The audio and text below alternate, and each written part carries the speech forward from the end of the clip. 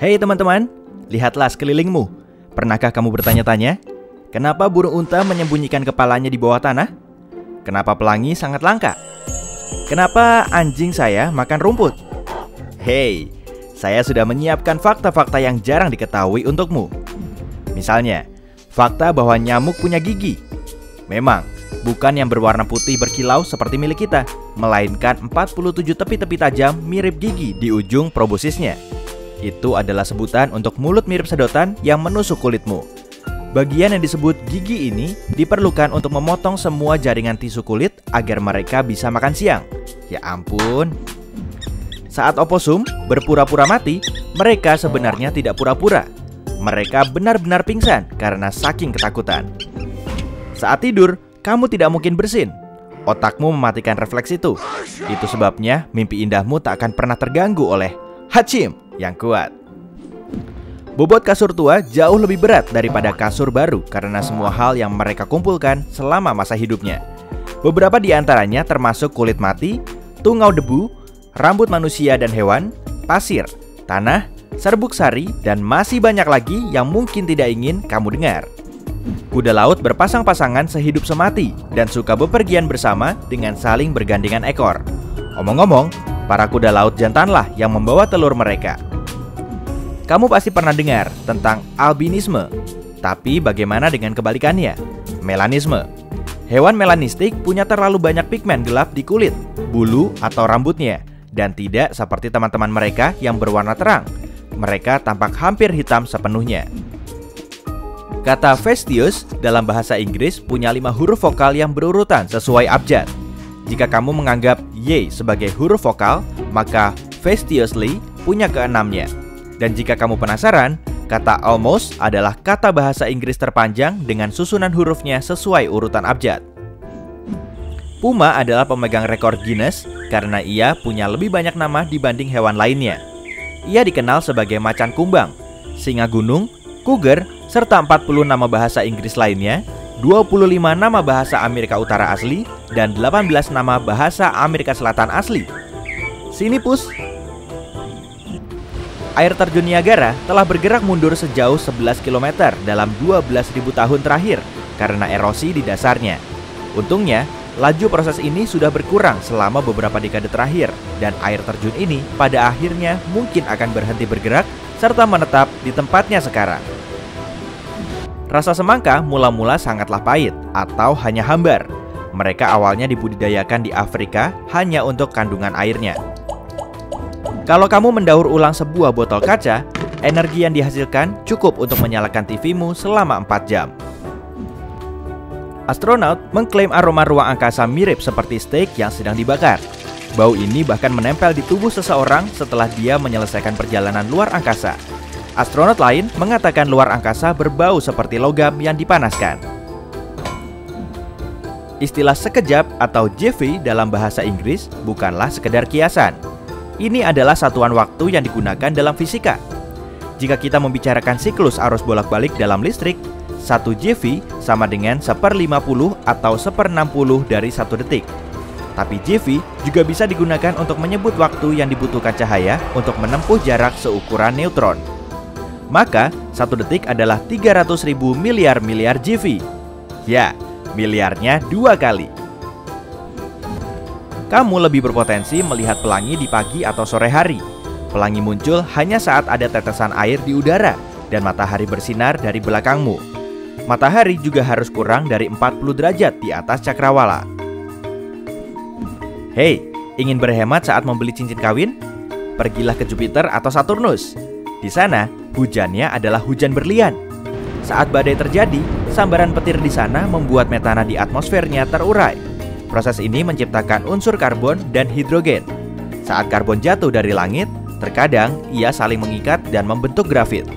Lalu, saat lebih dekat ke inti planet, tekanan makin tinggi dan grafit tersebut berubah menjadi berlian.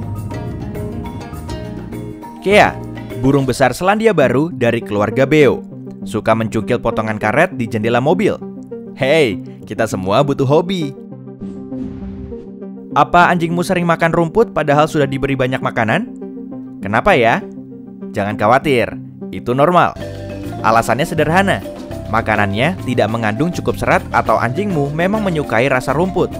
Beberapa anjing memakan rumput saat perutnya sakit. Mereka menelannya dengan cepat dan hampir tanpa dikunyah. Tangkai rumput yang panjang dan tidak dikunyah akan menggelitik tenggorokan mereka dan membantu mereka memuntahkan apa pun yang membuat perut mereka sakit. Saat berjalan-jalan ke Mars, kamu akan terkejut saat melihat matahari terbenam. Atmosfer planet merah itu dipenuhi oleh debu halus. Debu ini memecah cahaya merah dan hanya memperbolehkan cahaya biru masuk. Alhasil, proses matahari terbenam akan berwarna kebiruan. Ada ras kucing yang disebut kucing anak anjing, dan sifat mereka persis seperti namanya. Mereka bertingkah lebih seperti anak anjing yang aktif dibanding anak kucing yang kalem pada umumnya.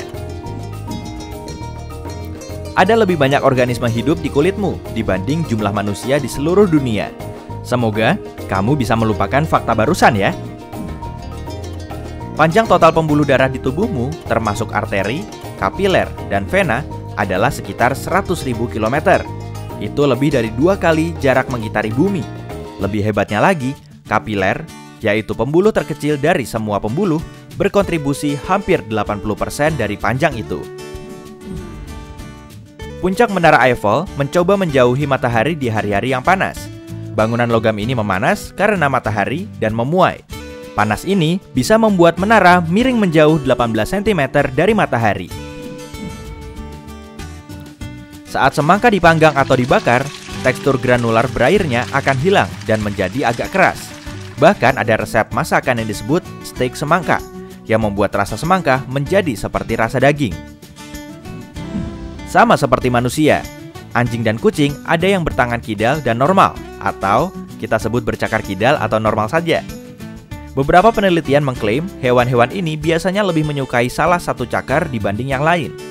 Mereka juga bisa ambidexter atau menggunakan kedua cakarnya dengan baik. Jika mereka menjadi pelempar tim bisbol, para hewan kidal menjadi pelempar kidal. Meskipun penguin tidak bisa terbang, mereka sangat jago melompat.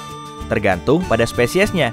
Beberapa penguin dapat melompat sampai setinggi 2 meter. Mereka membutuhkan keahlian ini untuk melompat dari air ke lapisan es. Burung unta tidak menyembunyikan kepala mereka di pasir. Kalau dipikir-pikir, bagaimana mereka bisa bernapas? Sebuah studi mengamati 200.000 burung unta selama lebih dari 80 tahun, dan tak satu pun dari mereka terlihat menguburkan kepalanya di pasir. Awalnya, mitos ini muncul karena burung unta menggali lubang di tanah dan menggunakannya sebagai sarang. Setelah bertelur, burung unta secara teratur menjulurkan kepalanya ke lubang untuk membalikan telur. Akui saja, mereka memang kelihatan seperti bersembunyi di pasir. Hampir 300 meter di bawah tanah, di gua kristal raksasa Meksiko, kamu bisa melihat sesuatu sesuai nama gua ini, yaitu kepala burung unta keluar dari lubang di langit-langit. Tidak, tidak, hanya bercanda. Kamu bisa melihat kristal besar Bobot yang terbesar bahkan mencapai 55 ton. Itu setara berat 8 ekor gajah. Dan rekor terpanjangnya mencapai 12 meter. Itu sedikit lebih tinggi dibanding tiang telepon. Perpustakaan Pusat Universitas Indiana tenggelam ke tanah dengan kecepatan 2,5 cm per tahun. Saat dibangun, para arsiteknya lupa mempertimbangkan berat semua buku di dalam gedung. Ups, sepertinya itu memang bacaan berat. Hanya terdapat dua musim di Uranus, yang masing-masing berulang dua kali setahun. Artinya, planet ini punya dua musim panas dan dua musim dingin. Bahkan, masing-masing musim ini berlangsung selama 21 tahun bumi, dan satu tahun penuh di Uranus setara dengan 84 tahun di bumi. Beberapa orang punya tulang ekstra misterius di lututnya. Tulang ini disebut fabela dan tidak ada yang tahu fungsinya. Satu abad lalu, tulang itu menghilang namun belakangan ini, tulang ini menjadi lebih sering ditemukan. Ada 39% orang memiliki tulang fabela ini. Suara yang dihasilkan air panas dan dingin saat dituangkan ke cangkir ternyata berbeda. Panas membuat air tidak terlalu rapat, sehingga nada yang dihasilkan lebih rendah. Sementara itu, air dingin lebih rapat dan nadanya terdengar lebih tinggi. Kolibri lebah adalah burung terkecil di dunia yang sering dikira serangga. Ukuran betinanya sedikit lebih besar dibanding yang jantan, tapi beratnya tidak lebih dari uang 500 perak dan panjangnya tidak lebih dari 5 cm. Bayi yang baru lahir sangatlah menakjubkan. Berat kepala mereka adalah seperempat dari berat total mereka. Selain itu, mereka punya sekitar 300 tulang dan mulut mereka dipenuhi hampir 10.000 sel pengecap. Saat mereka tumbuh, 300 tulang ini akan menyatu menjadi 206 tulang dan sel pengecap yang letaknya bukan di lidah itu menghilang dengan sendirinya. Hei, sel-sel, kalian mau ke mana? Baik gorila, simpanse, atau koala, semuanya punya sidik jari. Tapi sidik jari koala terlihat sangat mirip dengan sidik jari manusia. Cuma sekedar memberitahu saja. Hei, jika kamu belajar hal baru hari ini, klik tombol suka untuk video ini dan bagikan dengan teman. Berikut beberapa video keren lain yang pasti kamu suka. Cukup klik video di salah satu sisi layar, mereka akan terbuka dengan sekejap kok. Atau lebih lama sedikit. Dan ingat, tetaplah di sisi terang kehidupan.